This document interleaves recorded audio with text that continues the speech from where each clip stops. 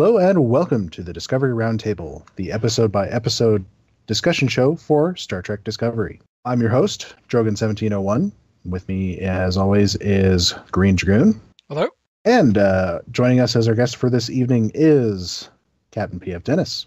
Good evening. And if you could introduce yourself a little bit. Oh, me, uh, Captain P.F. Dennis. I've been uh, a Stowe player and Foundry author. Well, Stowe player since open beta and Foundry author since Tribble, I guess, which is going back to about uh, late 2010 as it went live to holodeck in March of 2011, I believe. And uh, yeah, been an avid author since of about 27, 28 missions. I say the uh, the three of us uh, were fortunate enough to be able to meet up at STLV uh, in 2016. That's correct. It's a lot of fun. Uh, so, so you were also there last year. Um, I was. I'm curious, uh, you know, how much discovery stuff was going on. I mean, I think there was a little bit, but you know, like uh, how much was it? Were people talking about it? Yes, a lot of people were interested in it. Although I found, and maybe this is just my perception of it, but I went to the panel with the uh, the actors. There were only four. There was um, the doctor Culber and um, Cole and um, the female Klingon. L'Rell. Which were yes, L'Rell, and they were all good. And it was very interesting to hear them. There was also the uh, young ensign who was killed in the pilot. but uh, I liked him. Yeah, I did too. I thought, you know, by the way he showed up at STLV, I figured he'd be around a little while. but um, I found that the audience, I don't know, they were kind of cooled toward them in a way. I mean, many people were excited about it, but I'd say they weren't, I don't think they were as respected as the established actors and actresses that have come before. They were getting a lot of questions about why things were so different, and uh, you know these poor actors are like they can't answer those questions. why the Klingons look different? They were hired to to play roles. They're not responsible, you know. It's down to the writing team. Yeah, and I felt bad for them. I felt bad because they were kind of put on the spot. But I enjoyed it. Matter of fact, if you know you have access to CBS All Access, you can see that panel. They have it as one Oh, of really? their. Oh yes, yep. They I have had this- not realized that. Yep, they do. It's worth a watch, and you can see what I mean. No, I- at some points you. I assume go if they're watching this, they've got access to CBS All Access. Uh, yeah, absolutely. well, if they're watching. Well, you know, I mean, I mean, not not the um, uh, the international audiences wouldn't. Oh, that's true. Yeah, that's true. So- Someone to watch it on Netflix. hmm We should all be so lucky, right? I, I I have made my peace with uh, CBS All Access. In fact, I've I've gotten more than my money's worth out of it just watching NCIS uh, New Orleans. So I'm I'm plenty happy with my decision to subscribe. And actually, the reason why Netflix was so great in the past is because they had all the Trek. But now it's on CBS All Access anyway. So I, True. you know, although I Okay. like Travels and I like a couple other shows, so I don't know. It's it's a tough one, tough choice. So, um, b- before we get on to uh, this week's episode, uh, I, I we ran into something funny yesterday.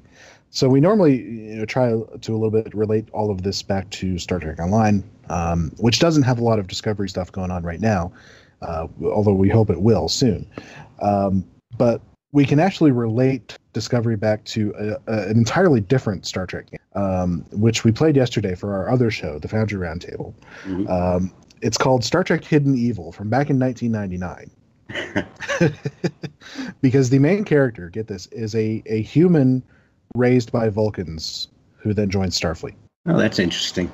Yeah, that, that sounded quite familiar. So yeah, we've come to the conclusion that no matter what you think, everything in Discovery has been done before in Star Trek, in some form. Oh, nobody- sure. But nobody criticizes it for, for that. no, no. Well, I, I for some reason, and I can understand why a little bit, but people are detail oriented, and Star Trek was always about detail. It was about detail in the way that they were consistent. You know, their history is always consistent. But you have to remember too that there was a difference between the '60s Trek and then the '80s Trek, and then it was always reimagined. It was reimagined in the motion picture. Never Yeah. mind. So Yeah. these changes have been normal throughout Trek, and I'm glad that that it's been updated. I mean, if it if if they had you know cage looking costumes and weapons, people would get sick of that in two episodes. I actually Really? just went and watched The Cage uh, right before the uh, the first episode of Discovery premiered, and yeah, I no, no that wouldn't work for me. Not not in 2017. No. And then you have people saying, "Oh, it's it's the Kelvin timeline because things are updated." No, it In looks fairness, a I- little like the movie. I just want to remind people that they literally changed Michael Dorn's makeup between seasons of TNG. His sure. forehead at the end of the show is completely different from his forehead at the beginning of the show. How about it Odo? Yeah, Yeah, Odo's makeup changed a lot. Incredible. Um, it, it's funny because I mean, there's there's behind the scenes things that some folks aren't- aren't aware of, and, and some of it even I wasn't aware of. Apparently, Gene Roddenberry wanted to design redesign the Klingons long before the motion picture, but he just you know they didn't have the budget to do anything like that. no. Well, that's the Um, whole thing. Star Trek looked the way it did because they had no money. and Star, Star Trek Discovery looks the way it does because they have nothing but money. That's that's wonderful. It shows there's a commitment to it. And, and one of the other funny things is, you know, you mentioned, uh, you know, everything's sort of got rebooted and redesigned, reimagined uh, with the motion picture. If you look at some of the the f- sort of failed pilots and, and failed projects that were ultimately rolled into um, TMP and the first seasons of TNG, it was going to be rebooted and redesigned and reimagined a lot more crazy than things like TMP ended up being. Oh yeah. uh, what was it? The um, well well I mean even the just the design of Discovery comes from the uh, abandoned project something of the gods. I can't remember what it was exactly. A lot of material out there, and there are a lot of pitches out. yeah. You, you can only imagine I mean it's been what uh, 12 years since the end of Enterprise how many pitches have been made for some sort of new Star Trek show in that Sure. interim time I'd be very Absolutely. I'd be very curious to know that Well, we know that uh, Takei wanted to do. Uh, uh, Josh Takei wanted to do a Captain Sulu show. I would watch that So so would I. I would watch that with John I would watch that with John Cho as captain that would be awesome but yeah, anyway I would. I would think that they could get them to do guest appearances on this show if you know if they have a cause to. I mean, in the What was- future. I always kind of wondered about that actually. Uh, if they decided to actually show Spock, uh, should Yeah, they, they, get, could get some? Quinto to do it. I think it'd be cool if they if yeah, they I mean, that. even if it's you know we associate him with the Kelvin timeline, he's certainly not going to look different in the prime timeline. Yeah, that is the idea. So anyway, um, we're here to discuss episode seven, which is what is it? Magic to make the sanest man go mad. Yeah, it's a very Which long is- title. Quite quite the title, uh, which I'm sure I'm going to have to abbreviate uh, uh, when I'm uploading this. That's okay. I'll put it back to the full title when you once you do. I mean, compared to last week, you know, Lethe. yeah, it was just just one word. Um, so this was kind of a like a comedy interlude episode, um, almost. And I say almost because there was a, a a good amount of characterization and character development going on, um, which is kind of nice that they used the comedy episode to also do that. I found it very familiar feeling. After watching it, I I really did feel like it was a Mudd episode. You know, he's definitely at, his most trickster level, um, Mhm. but but quite a bit more vicious, really, than in the uh, original series. yes, yes, he was more a you know a scoundrel in the '60s. You know, now he's a little bit more sadistic. It's a bit, bit murderous. Yeah, Well, actually, not a bit. He's very murderous. but then again, he got left behind in a Klingon prison by the captain. So, you know, naturally, I, I, I think most people would carry a grudge. oh yeah, Yeah, I mean, it could also be looked at that this version of Mudd is uh, has not been beaten down as much as the one we see in TOS. Not to mention but he's I young. still- He's younger and so more reckless. He's a very different place in his life. But obviously, same- a lot can happen to a guy in 10 years. I mean, at the I same time, the I- episode as a whole. Oh, go ahead. I was just say I think at the same time uh, there was a few parts parts in it where it really did kind of feel like uh, um, like the classic Mudd, especially when he was trying to weasel his way out of things. Yeah, it did it. It it's the way the episode was structured. You know, it was very similar to the way they did the original ones. And his reaction to seeing Stella, where he immediately just, you know, tran transitions transitions from being, uh, you know, a total jerk to the Starfleet officers and suddenly sees her, Stella, my darling. That that was very much, I thought. Yep. I can't help but feel Yeah. that Rainn Wilson had a lot of fun with this part. Yes, Yeah, I think they're doing a great job. And they're, they're doing a great job casting for sure. Um, I, I mean, Harry Mudd uh, with Rainn Wilson. I mean, I've, everybody's seen the well, you know, not everybody's seen The Office. I, I actually haven't, but I've seen him in other things, and he's Right. been very. Oh, so Sonequa anyway- Vermont Green. I mean, Oh yeah, yeah, she's great. as a Walking Dead fan, I never imagined her in a Star Trek show. Never would have thought of it. But now, after watching it, after watching the pilot, she fit right in. And her character is completely different and completely believable. I She's would doing a fantastic job. I'd actually say this episode in particular has done a ton to really kind of um, blossom her character. I mean, in the past she's been Yeah. very stiff and closed off, Yeah, she's softening. But yeah, in this one she kind we kind of got to see her a little more vulnerable Mm-hmm. emotionally, and that kind of in in those moments we kind of got to see much more of her underneath. she's more at ease now uh, with the crew. She's falling into their routine, and uh, she's she's also friends with uh, you know basically two people who are, are but still, I mean, it's like the right two people to kind of open her up a little bit. Um, Yeah. and, and as she keeps going, I think I think she's gonna essentially prove herself to the rest of the crew that you know she's not her reputation, and the rest of them are gonna kind of come around to her as well. I. I, although I worry what could happen to her. I mean, the admiral has this thing, you know. So yeah, I think People are pretty upset that she's in any position of, you know, legitimacy at all. Oh, the, oh, the higher up, the higher ups especially. Yeah. so yeah, You know, and another Alright. thing is, I think Ash Tyler is a little too good to be true. You know, I keep expecting something to happen. yeah. You, you where where's the turn going to be with this guy? Yeah. Or, I'll be honest. or I is think it as a, all a, is it all a red herring? I mean, if Yeah, he's a Klingon spy, he he might be a little bit too be too good to be true to be a Klingon spy. He's like the best spy Yeah, I mean, ever. He, he, he is like Yeah. the. I mean, this is an Oscar-worthy performance if he is a spy. you know, what, whatever like a- whatever the Klingon Oscars are. you know, He's the- like the too Klingon perfect. Academy of Film. You know, he's- yeah. But until it is But- but revealed the- that he's a Klingon spy, I like him. Yeah. hey, he stands up to torture. He comes out of it, you know, smelling like a rose. Mhm. You know, it's just too good to be true. but they did they did make comment at the fact that uh, uh, he seemed remarkably be doing remarkably well for someone who went through six months of Klingon torture. Right, right. So yeah, they keep they keep And poking. Laurel's that going to be coming back. Button. If you want to hear something really funny, okay, so on Twitter, uh, well, to give a little bit of background, um, the character of Voq is referenced in all of the credits as being played by somebody named Javid Iqbal, who no one has ever heard of, has has no credits other than this, um, has no like online presence whatsoever, and this has been part of the reason why everybody thinks, oh, Ash Tyler is Voq.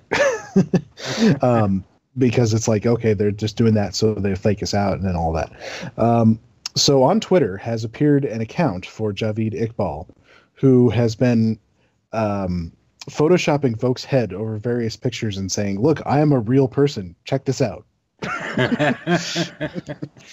you know, and, I, and i don't i don't that. know if I don't know if it's anyone on the actual, you know, affiliated with the actual production, or if it's just some. no, it's fan probably who- just some fan who I mean that. uh, made a joke account. Either way, it's hilarious. You know, I didn't Um, think of It- He's actually it's- Ash Tyler. Yeah, that that is the the going theory. Hmm. Um, Hmm.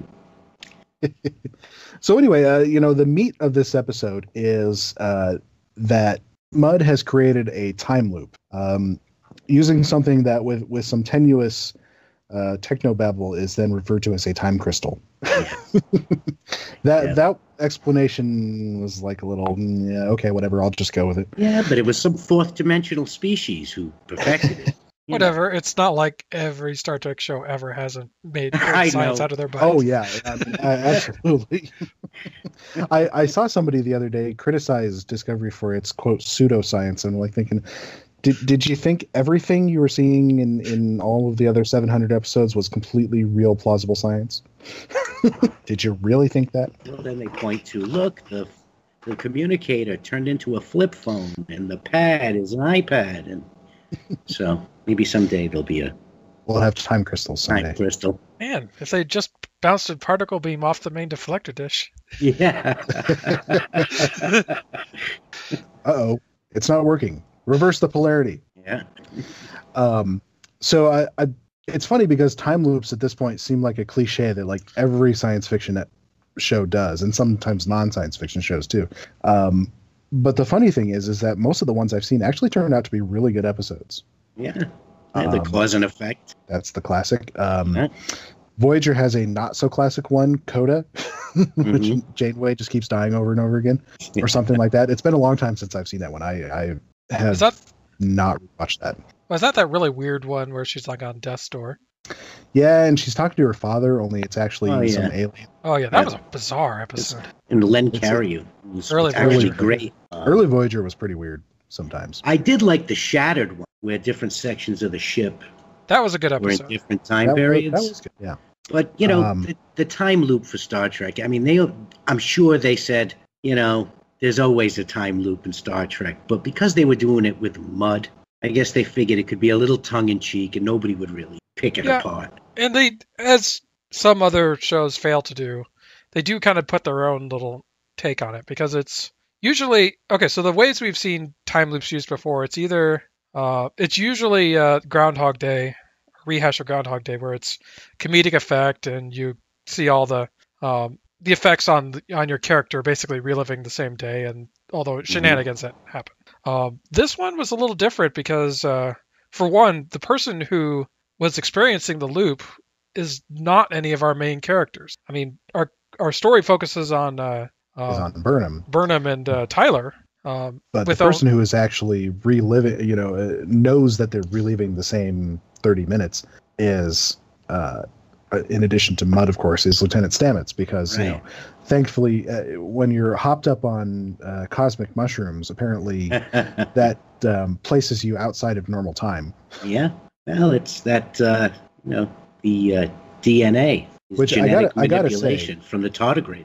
Yeah, I, I mean, he he is just playing this so hilariously, this complete change in his personality, and, and I like I like that people notice. I mean, Burnham in her in her log, she makes a note of that, that that this is bringing out new parts of his personality.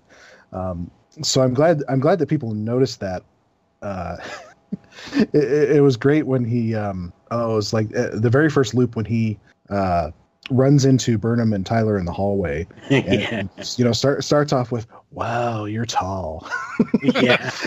And he gives and her then a big through- hug. yeah gives her a big hug so so, so what's the deal with you two anyway Yeah, See again And- with the cast, you know, they Yeah. they hire good people. He he pulls it off wonderfully.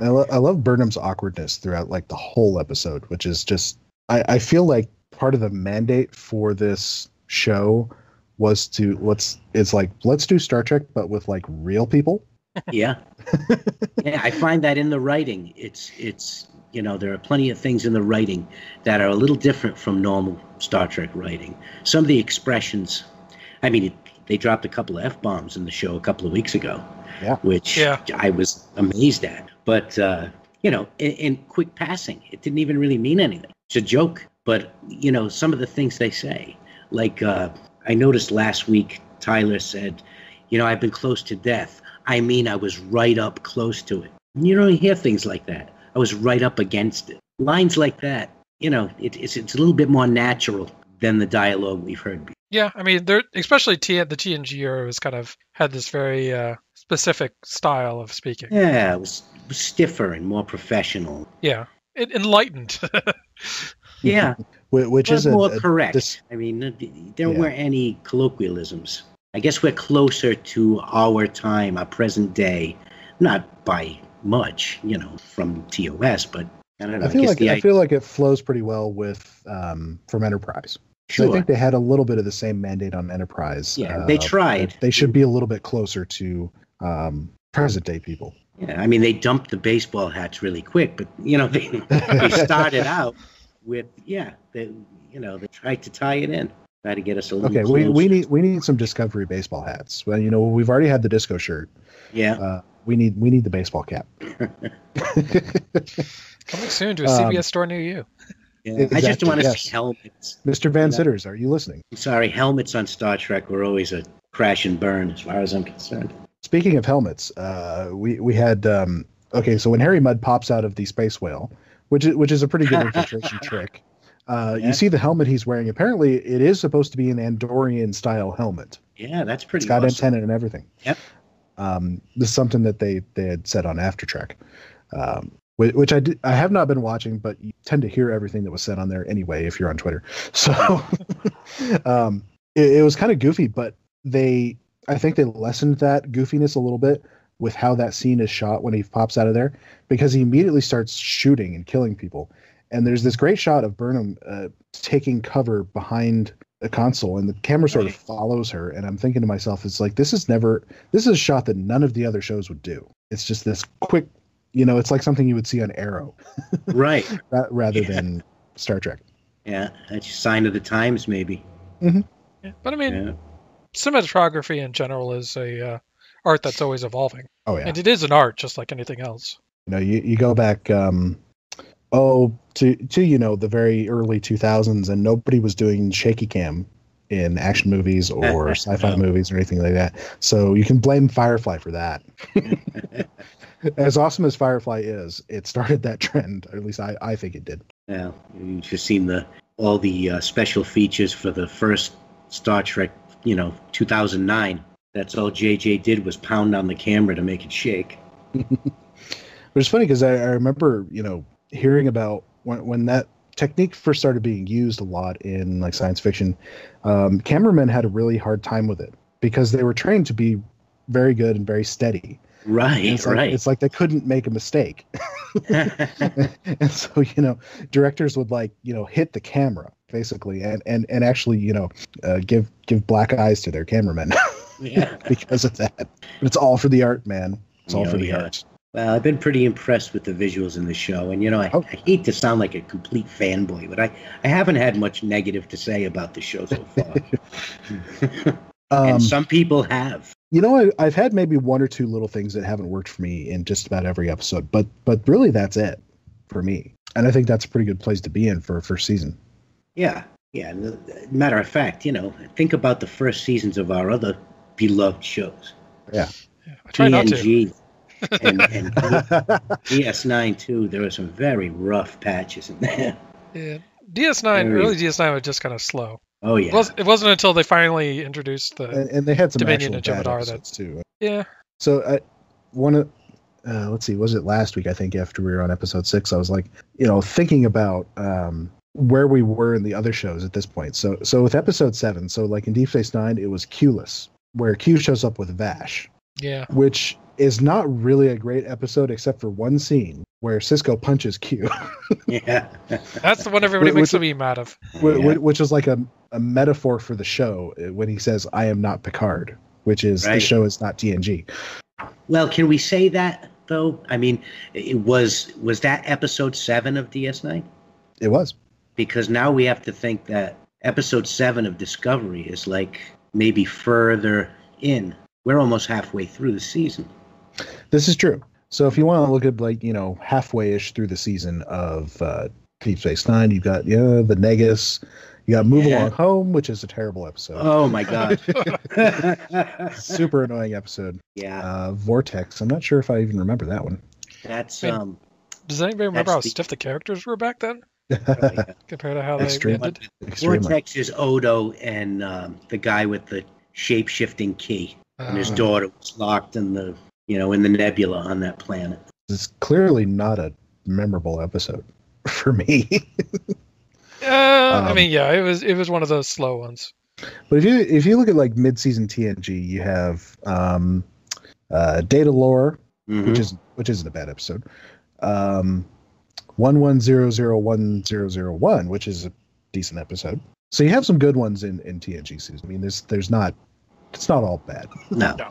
Uh, I don't know if there's I think- anything. but I think Discovery is is really having a very strong first season comparatively. Yeah.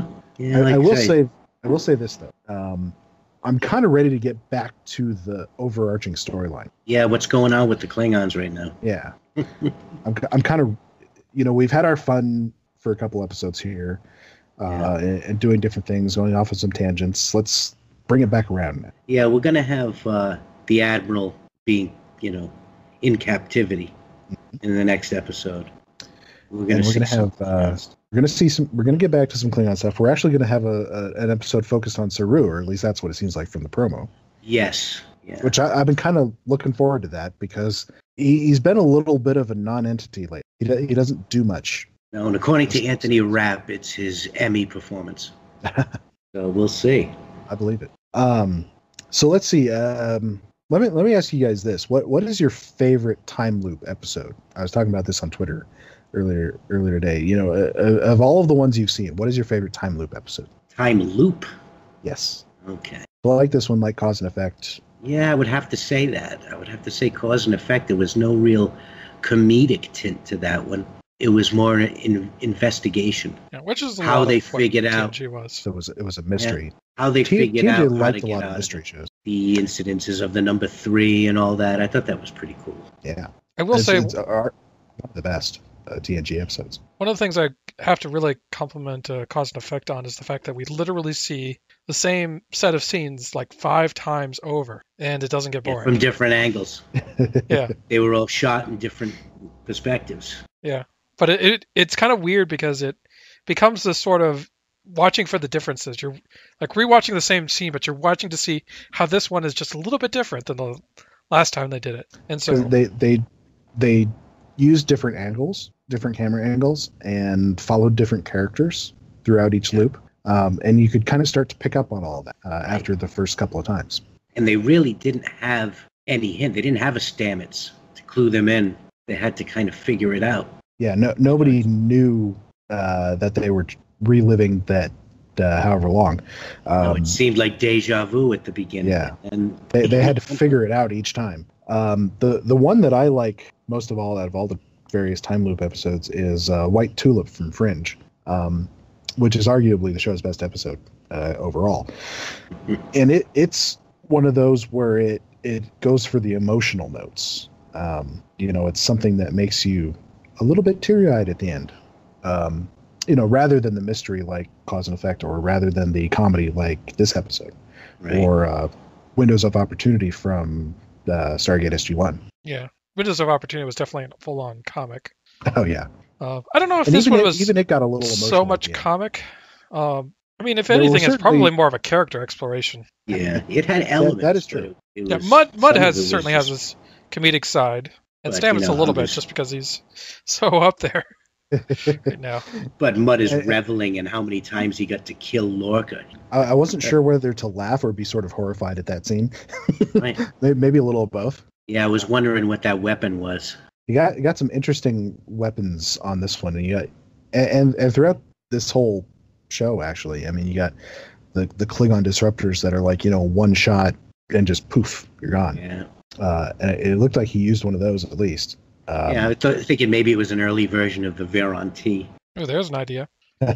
You know, Uh, they they do like to do callbacks or call forwards. because he really, you know, it was really gruesome the way he was vaporized by it. It was just slowly actually, um, disintegrated. TrekCore over on Twitter was posting some various uh, shots from previous treks of people being vaporized, and there were a couple effects that were almost just like that, where you sort of see the skeleton and then that disintegrates too.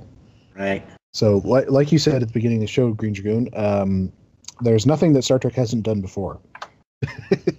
so it's like you can't criticize it for being untrek because it's been done before. And they do it again because we must have liked it the first time. You know? so well, that's Exactly. tried and true. Well, I mean, creativity in general is often uh, reimaginings of things done previously. I mean, most sure. Most things that you see have been done in some form before, but it's a new take on something. Well, what is it? You know, everything can be related back to a Shakespeare play. I wonder which one this is. Actually, I, I was trying to I was trying to think earlier today about you know what what is the first instance of a time loop story, um, and, and you know obviously I only have uh, limited um, research capabilities, but I, I saw there was at least you know one movie from back like 1945 that had one. So Groundhog Day is not the originator no. of this phenomenon in in fiction. Um, in, in fact, Cause and Effect came out the year before Groundhog, Oh, really? and and I, I wasn't sure about that, so I had to look that up. So one of one of the other things is, you know, I, I kind of like to keep track of my Twitter timeline and see what people are talking about most of all from each episode. And one of the things that has come up a lot is the party um, that is going on aboard the Discovery, uh, which which seems to be mainly you know junior officers. Um, it's it's one of those things that's fairly different from what we've seen before. Although um, Jadzia's bachelorette party got pretty raucous. Yes. Yeah. um, but it, it, it struck me as something that was you know an, another bit in that mandate of let's show some real people and realistic Right. people and realistic things that they would do like get drunk like hook up you know at parties especially you know young people because these are people who are like a lot of them are going to be fresh out of the academy you know young 20 something officers Well, and apparently officers are, you know, not supposed to fraternize, according to Burnham, anyway. Uh, yeah, well, she said that specifically about um, being in the uh, XO position because Right. everybody's under you. So Oh, if yeah. you're a is- senior officer, like Saru wouldn't show up there. no But I mean, this is something that they're. I don't think Saru would show up regardless. Yeah, no, um, be afraid. You would be. Well, but one of the things that's um, that I was I thought was kind of funny is you know if this was TNG, it would have been like a you know a violin recital or a poetry reading or something like that. You know, Right. uh, it, it wouldn't it wouldn't be a full on party. And you know, I I I'm not one for parties anyway, but I think I'd rather go to uh, you know the disco party than Sure. you know something like a violin recital. Uh, but there are obviously people who like violin recital. Um, Sure, but you can't have that constantly. No, I mean, diversity is the key in the future, isn't it? It I mean. Well, I, I think I think part of it was that um, TNG wanted because it was set so far in the future, they wanted to separate it from modern times by not doing anything modern times, and so it Yeah, ended up like- being like classical music and stuff. the only it was people, all it was all highbrow. It was opera and classical right, music. right. right. Look what happened when they played a little contemporary music. Picard went nuts. Poor Jono, he just w- wanted to listen to some rock. You know, You know, I I mean, Picard if I down. if I was the captain, uh, you know, people would be like, "Oh God, he's playing that you know, two hundred year old heavy metal again on the bridge. Why won't he stop? I hate classical music."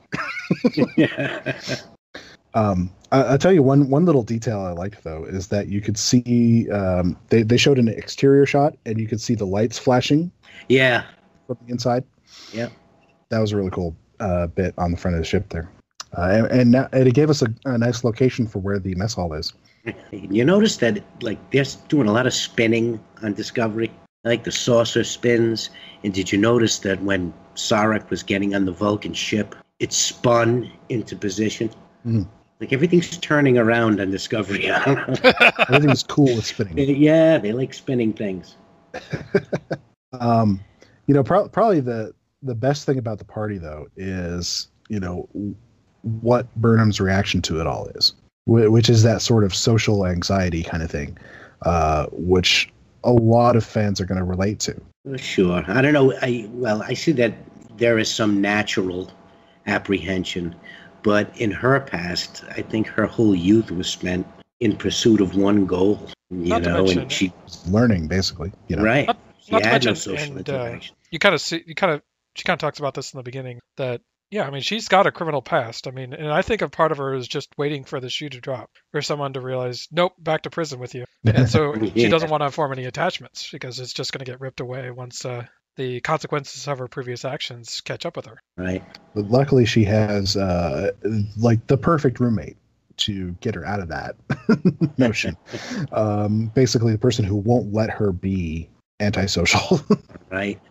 I mean, Uh, she couldn't be more opposite. Yeah. Bubbly is. can i just which start is funny because her I Amanda had sort of a. uh, there, I see some similarities with that character. Yeah, um, our our uh, our fellow Foundry author XR three seven seven will be happy to hear that. Uh, although obviously she predates Amanda Barkley by some hundred years or whatever. Well, Uh, so another another fellow Foundry author uh, just tweeted me, um, Horient, who says uh, is got a picture of the um, Stella's ship at the end, or her father's Hmm. ship probably, uh, which you get just a very brief glimpse of as it undocks from Discovery, um, and says uh, this. So this could be the uh, 2018 summer event ship for STO. Because it's kind of a luxury liner-ish, a little bit, Look kind of Hmm. looking. i don't know i thought it looked kind of yeah, TOS. just like- Yeah, I, Like- I, I two I huge like it. nacelles underneath central hull. It was, you know, I didn't think it was particularly cool looking. you know, it was just I don't think that was what they were going for. no. but- Well, I mean, they they clearly didn't linger on it. And and if I had Yeah. one criticism of Discovery so far in its visual style, is it they don't linger on the ships enough. Because it's like, oh, you know, this is Star Trek. I want to see the starships more. Yeah. um, you know, you just get glimpses and, and very actiony shots of like the fleet in the battle at the very beginning, of the first couple episodes.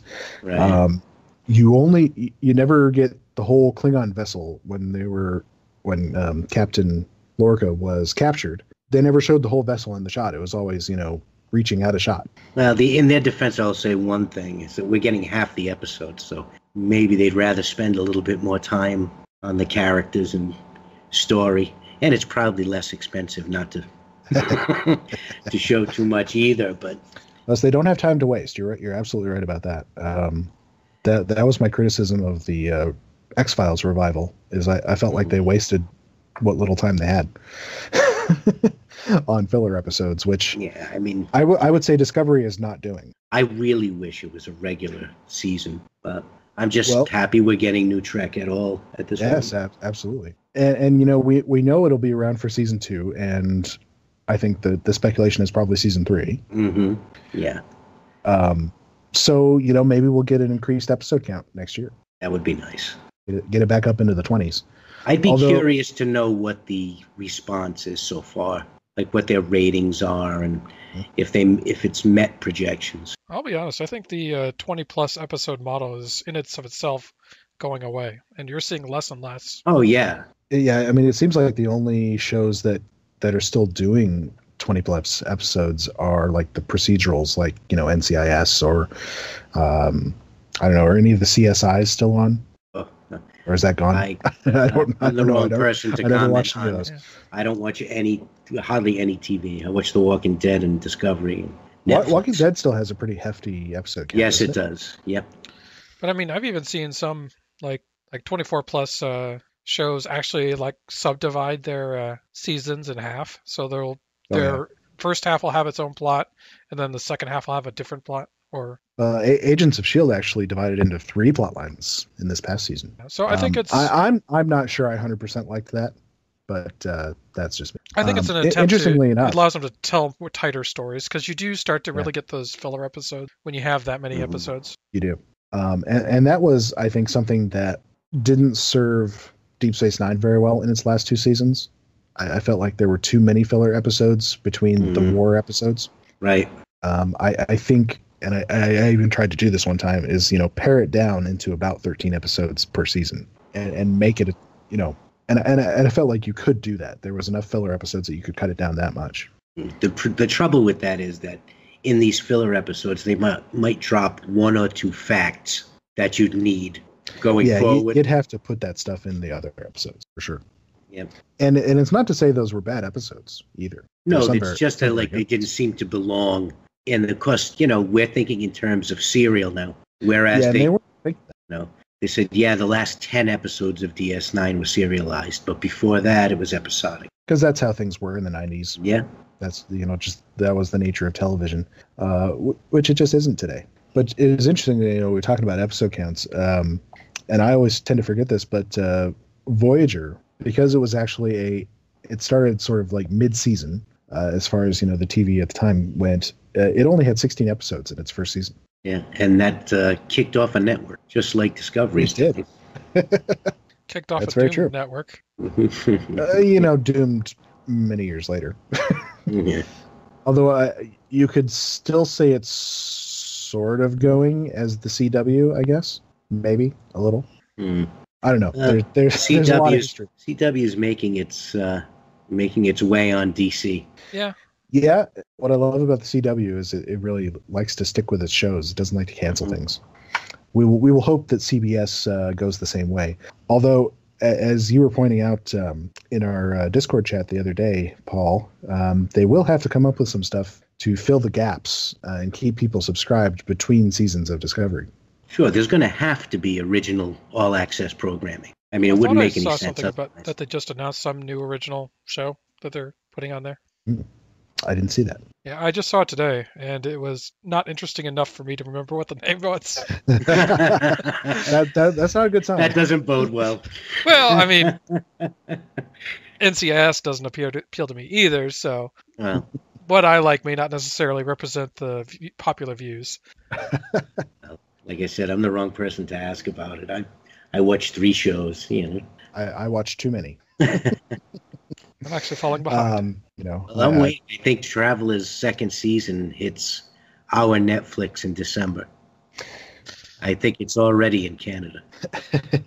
well, you know, I, as people were, you know, are, are always not happy with American TV because of the delays in when it becomes available internationally. Well, we're feeling your pain with Travelers because it's it's airing right now in Canada, but it's not going to, you know, be available for us until December. So I was shocked to see that Stranger Things had season two come out. I thought that that show's been on longer than that. no, no, just the one just season. season two. Yeah, I, yeah, I haven't seen it, so I don't know, but Uh, it's quite good. I I, I like it. It's maybe I'll show. give that a shot. I like to describe anyone it as remembers the '80s. yeah, I'd like to describe it if, as if ET the Extraterrestrial and X Files merged. It's very very Spielbergian. well, that's uh, that's a compliment. I, I would say so. All right. Well, let's see. Final thoughts on this episode. I liked Well- it. It kind of served as a nice, uh, more personal episode after kind of the, some of the more darker tone. The last, and I think it kind of serves as a necessary, more lighthearted episode because it sounds like next week will be more serious. Mhm. I enjoyed it a lot. I thought it was reminiscent of the originals. I think it fits in well with the traditional Mudd episodes. I think it was structured very similarly. I I think they did a really good job with it. I was happy with it. I, I do as well. Um, even if I said I'm ready to get back to the uh, the the more serious stuff, um, I think there's always a place for a little a, something that's a little bit murder. Yeah, yeah. I want to see the away team next week. I want to see them go down on a planet. That'll be interesting. You know, explore some strange new worlds. So one one final question before we uh, end this for the evening. Um, one of, one of the things that uh, a Twitter friend of mine has been doing is polling on everybody's favorite episode, and you know, dropping the least favorite ones each week to make sh- room for the next episode. So, w- what is your favorite episode of the seven that we've had so far? Ooh, While you're thinking, I, I'll tell you mine, which is the third episode. Context is for kings. Um, I thought it moved along at a great pace, and it had um, just that that great middle section um, where they're on board the derelict uh, spaceship, yeah. which the Glenn, um, and the shushing Klingon, which just makes everything better. I'm gonna have to agree with you because I was just thinking, which was the one where they first met the tardigrade, Yeah, and that that and was that's that one. the same episode. Yeah. And and it just had that brilliant um, final scene with Lorca uh, explaining everything to to Burnham, and just the you know ending with the delivery of the line of "context is for kings," and I just I just love that. I don't know. I'd have Yeah. to say this one my favorite. you had Rainn Wilson doing a really good Mudd and really throwing himself into the part. You finally have like more of Burnham, like a relatable person, and uh, you got um, Stamets on Spores. What's not like to like there? Stan, Stamets on Spores is just hilarious at, Yeah. at, any, at every turn. Um, uh, is it bad that I well, don't well, want him to go back to normal? obviously, Yeah. um, I, I think it's also a little bit ominous his behavior. Like, you know, there's going to be some bad things that come with this. Later oh on. yes, Yeah. certainly. So my running Sure. theory is that the way Stamets is behaving is the natural disposition of the tardigrade if the tardigrade could talk. Stoner tardigrades. Yeah. Pretty funny, just Apparently. like tardigrades at this. Uh, oh, aren't you guys all just swell? Yeah, laid back, affectionate, and you know, we tortured it. We just used it up until it collapsed. Yeah. Make Dehydrated. Duncan Idaho no no end of happy if the tardigrade turns out to be a big loving teddy bear. Tardigrade bridge officers. Come on, STO, make it happen. oh yeah, I'd love to see more creatures in STO. That would, that would be a great thing to have. But obviously, there there's just you know an ever increasing amount of, of awesome Discovery content that could be ported into STO. So Yes. we're- yes. we'll have to take it as we get it. All right, gentlemen. Well, thank you for uh, joining us. Well, thank you for having me. It's great to be here as always. And until next time, enjoy the final frontier.